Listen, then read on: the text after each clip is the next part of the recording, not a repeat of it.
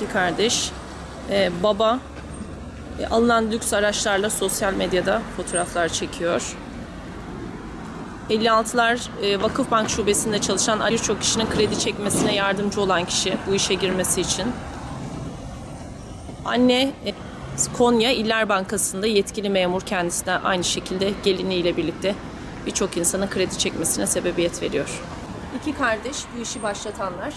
Samsun ve Konya'da faaliyet gösteren iki erkek kardeşin oluşturduğu ve aralarında kamu bankası çalışanı akrabaların da bulunduğu Yeni Saadet Zincir Vurgununda mağdurlardan 30 milyon TL topladığı iddia edildi. Kolay para kazanmak isteyenlerin düştüğü saadet zincirlerine bir yenisi daha eklendi.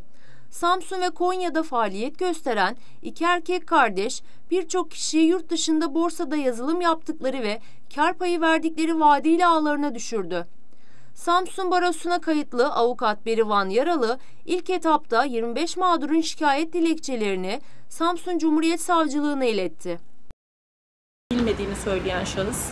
Olay yaklaşık bir buçuk sene önce Konya kaynaklı iki kardeşin başlatmış olduğu bir proje. Konya'dan birçok mağdur söz konusu. Ee, Samsun'da yaşayan kardeş de burada güven ilişkisine dayalı etrafındaki birçok insanı bu olayın içerisine yurt dışı kaynaklı bir borsa oynadıklarını, kardeşinin Konya'da yazılımcı olduğunu, e, Amerika'da bir borsa şirketine yazılım e, tasarlayıp kiraya verdiğini ve bu sebeple çok paralar kazandıklarını iddia ediyorlar.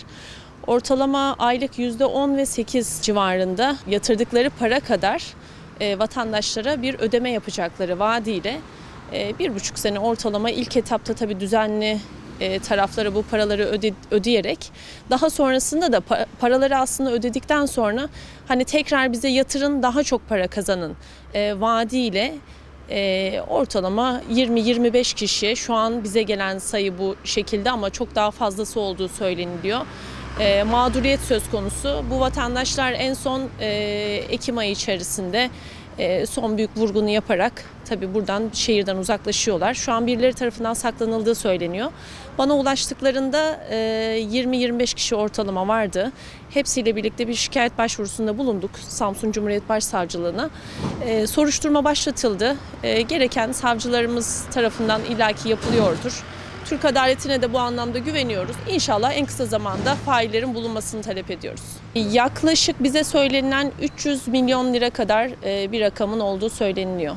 Hemen hemen aynı evet. Ee, sadece yurt dışında bir şirket yaptıklarını yani bunun nitelikli dolandırıcılık e, hukuksal olarak tabii ceza kanunlarında oradaki şirket aracılığıyla e, dolar yatırıldığı hesaplarına bu dolarları Türk parasına çevirip vatandaşlara ödeme yapacakları vaadiyle böyle bir dolandırıcılığa başvuruyorlar. Eşler dahil bu konuda. Onun haricinde akrabalardan olan insanlar var. İstanbul'dan e, galerisi olan insanlardan bahsediyorlar.